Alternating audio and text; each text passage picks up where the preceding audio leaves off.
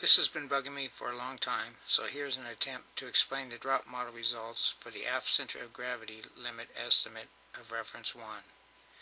When you hear me say CG, I'm referring to the center of gravity. The equation used for the estimate of mean aerodynamic chord, also known as C-bar and abbreviated as MAC, comes from reference 2. The estimated value is shown as a pink line in the diagram.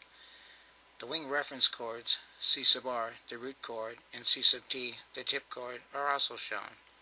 The two pink hash marks on the center line represent the leading edge and the trailing edge of the MAC extrapolated to the fuselage center line. It's common for CG locations to be referenced by some percentage of MAC, with 0% being referenced from the fuselage station corresponding to the leading edge of the MAC. 100% refers to the trailing edge of the MAC reference. The drop model consisted of 1 16th inch flat sheet balsa wood cut to the planform of the diagram. Polyhedral was added to the wing, so the model was laterally stable, while pitch stability could be studied as a function of CG. The fuselage consisted of 3 32nd by 1 quarter inch stick hardwood balsa glued to the centerline of the planform. The horizontal tail included an elevator with soft wire hinges that allowed the adjustment as a function of CG. Drop model testing initiated at a CG of about 25% MAC with a small amount of trailing edge up elevator deflection, expecting that this would be a good starting point. It was quickly learned that 25% was unstable at all elevator deflections.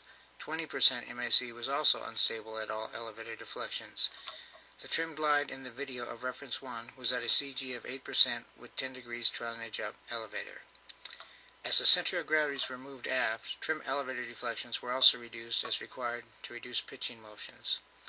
The resulting glide paths were observed and videotaped.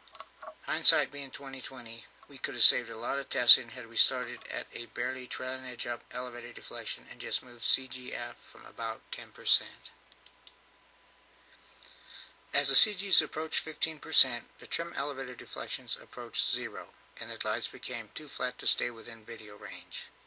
Drop model test results indicated that 15% was a good estimate for the CG aft limit. This seemed too far forward because typical conventional stable aircraft CG limits are usually aft of 25%. Unlike the real YF-22 or more representative models of the YF-22, the models used here had a significant amount of lifting surface area, which was actually flat wing, ahead of the area used to estimate the MAC. This unaccounted for area in the estimate resulted in a more forward than expected reference CG to balance the models at stable flight conditions. It may have been more accurate to have used the integral form of the equation for C-bar in reference 2. The drop model was done more for fun than for any other reason. There are several technical reasons, Reynolds number, scaling, mass properties, etc., that question the merit of using the drop model.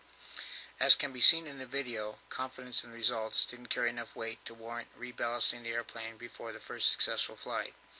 It is interesting to note, though, that the drop model predicted the RC model would be unstable for the first flight, and as it turned out, it was.